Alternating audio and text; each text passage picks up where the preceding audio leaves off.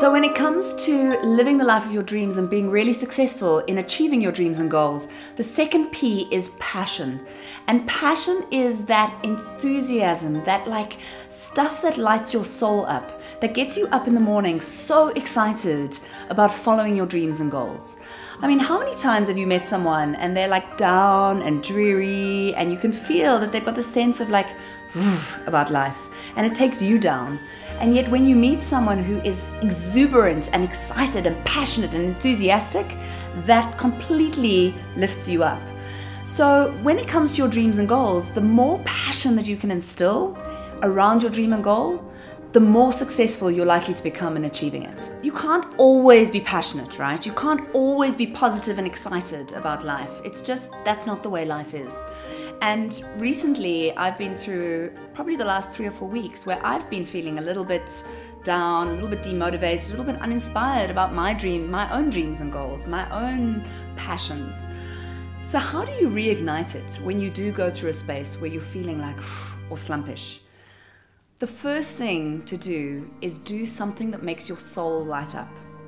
So, right now, creating these videos is something that makes my soul light up. And what I've realized is one of the reasons why I've got a little bit down and slumpish over the last few weeks is because I've been caught up in admin, the stuff that I don't necessarily really enjoy doing.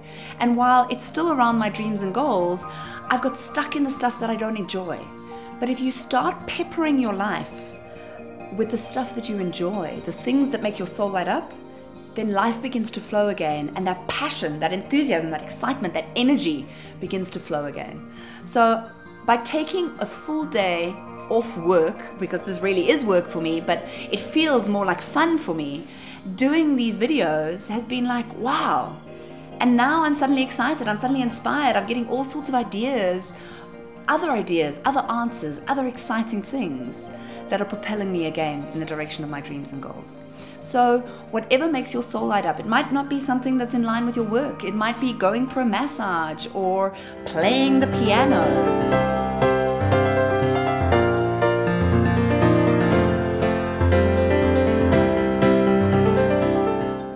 Or it might even be blowing bubbles. Whatever it is that makes your soul light up, do that to ignite and reignite those sparks of passion.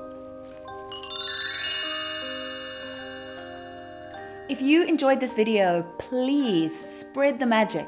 Share it on Facebook, share it through Twitter, or leave a comment below.